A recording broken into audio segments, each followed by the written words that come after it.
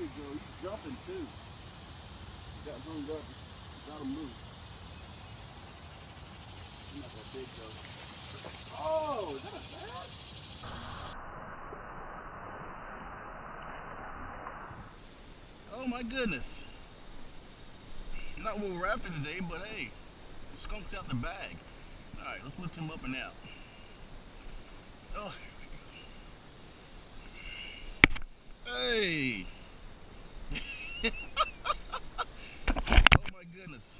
Well, and it's funny because we were just wondering if there were bass in here. Looks like there are. He ain't bad. But if I try to go after bass, I can never catch them. But the minute I try to catch them, the minute I'm not trying to target them, they hit.